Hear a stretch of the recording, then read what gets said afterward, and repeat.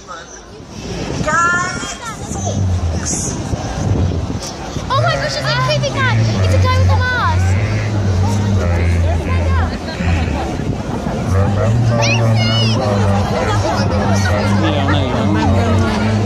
Everybody's Look at the sounding guy I with the see mask. reason why gunpowder treason should ever be got. This time next year will be millionaire Snooker loopy nuts on me, we're all loopy. Must remember matches. Wakey, wakey!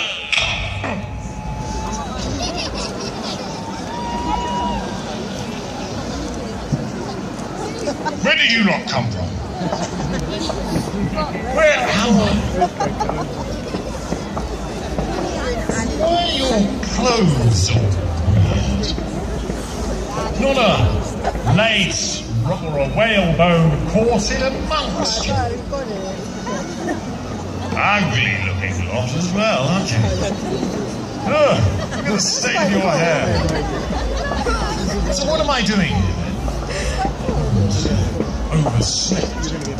I'm supposed to be in the Senate underneath the Houses of Parliament helping the Brexit negotiations in my own way. Looks like, Guy Fawkes. You have a referendum.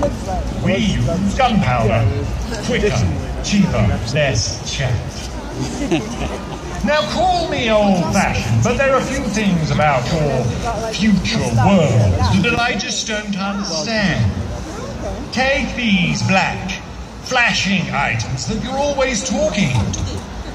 You're all holding them up now. What are they? What? Apples, you say? Really? You talk to apples?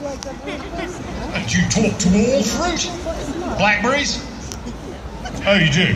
But not so much. No wonder your country is a mess.